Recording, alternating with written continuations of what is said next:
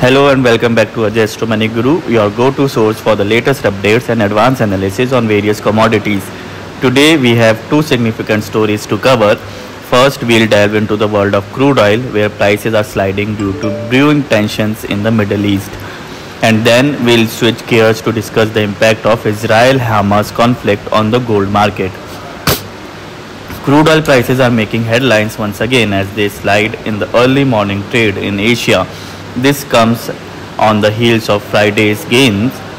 The cause of this uncertainty, the ongoing Israel-Hamas conflict and the fear that it will escalate and impact global oil markets.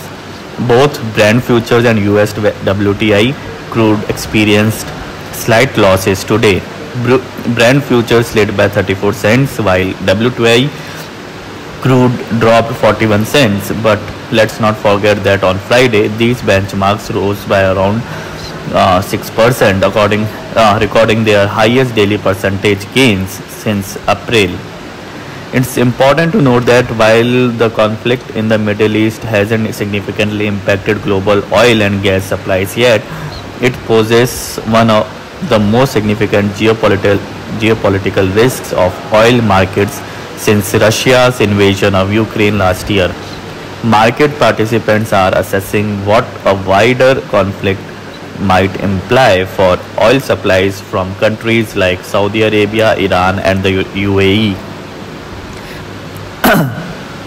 Israel's Prime Minister Benjamin Netanyahu uh, has vowed to demolish Hamas, and Iran has issued warnings about the situation potentially spiraling around out of control. US Secretary of State Antony Blinken is, is returning to Israel to discuss the situation further.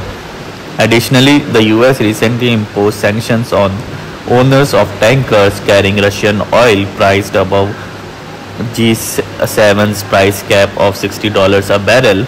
This move aims to close loophole in the mechanism designed to punish uh, Moscow for its invasion of Ukraine.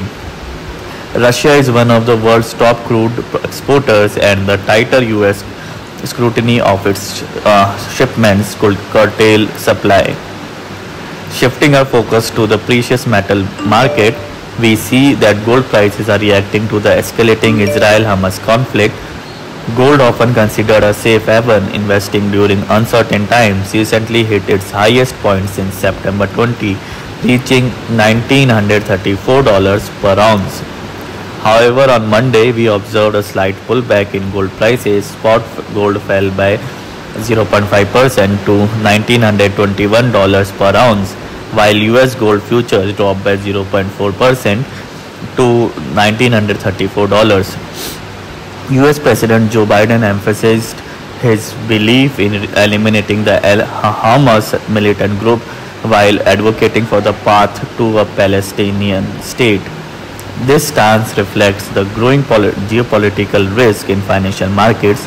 Investors are on edge waiting to see if the Israel-Hamas conflict draws in other countries, potentially driving up oil prices further and dealing a fresh blow to the global economy. Interestingly, COMEX gold speculators have increased their net short positions, indicating a certain level of uncertainty in the market and on a regional level the physical gold market in India has flipped to a discount due to a rebound in domestic prices while premiums in China have retreated from recent highs. In the broader in the broader metal markets, spot silver fell by 0.4% to $22.62 per ounce.